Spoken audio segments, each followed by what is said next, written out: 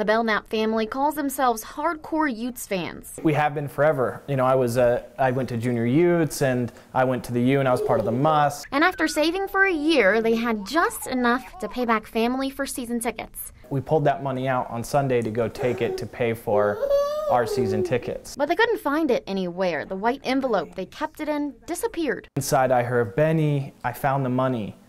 And when I came in, she just was, she wasn't super happy. She wasn't like, oh, I found it finally.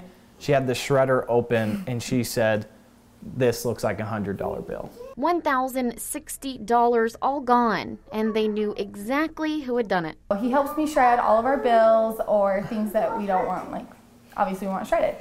So we normally unplug the shredder and turn it off or whatever, and I must have left it on. Most people who say, oh, the kid drew crayon on the wall or something. I, I've never heard of a kid, you know, shredding a grand. Leo's parents say even though they were upset, there's nothing they could do but laugh. I think, if anything, maybe a lot of parents relating to kids can be the worst. and they're the greatest things, but they get into trouble.